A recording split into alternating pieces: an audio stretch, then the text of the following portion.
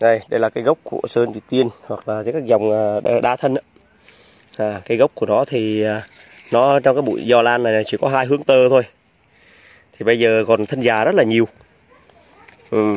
bây giờ là mình à, dùng một cái dao vật dụng là mình mình kiếm một cái dao mà dao tách chiết cây thật cứng và sắc đó, bắt đầu mình sẽ muốn tách chiết đầu tiên mình sẽ căn vào những cái gốc mầm này ừ. mình đè cho mạnh mình đè qua lắc lại lắc lại khi nào nó nó đứt, đứt lìa ra thôi mà đừng có đứt, đứt rễ của nó cẩn thận đứt rễ.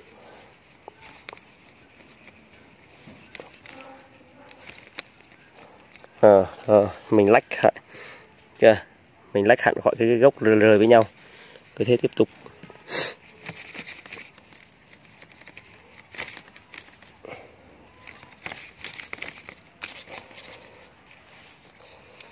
Mục đích của mình đó là ép cho mỗi thân già này nó có một vách ngủ nó ra một cái mầm tơ.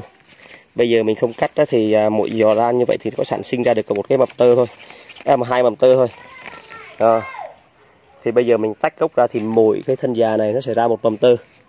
Thì sang năm sẽ cái giò lan sẽ có rất nhiều mầm tơ.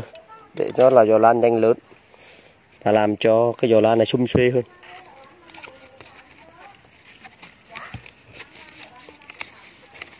Cái thân già này bắt đầu nó rời nhau hết rồi.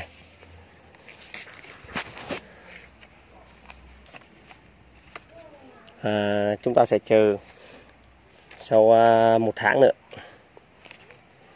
Chúng ta dùng kéo chúng ta sắn vào giữa hai cái à, thân này nảy ra một chút để lìa cái gốc của cây lan ra. À, tiếp tục là chúng ta có thể à, cho vào giữa hai thân già với nhau. Ừ. Bấm một cái chọn cái kéo mà có mũi nhọn sắc. Nhưng mà cắt lan thì anh chị nên dùng cái loại kéo này có độ bấm tốt. Kéo là kéo chưa cắt tỉa bonsai bonsai ấy cắt cành to được rất là sắc và đủ. Ừ, kéo bóp mạnh được. Ừ.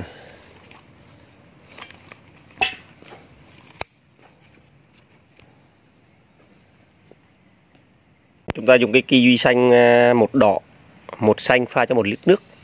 À, chúng ta phun vào gốc. Ướt đậm gốc.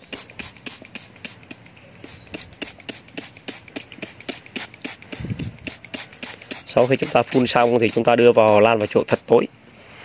Ừ, bởi vì à, khi có nắng lên làm hơi nước bốc cái hơi cái, cái này nó bốc nhanh đi là không có tác dụng.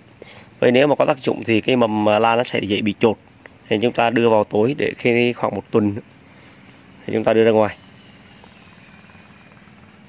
Ờ, cảm ơn anh chị đã theo dõi video Vừa Lan Nguyễn Anh.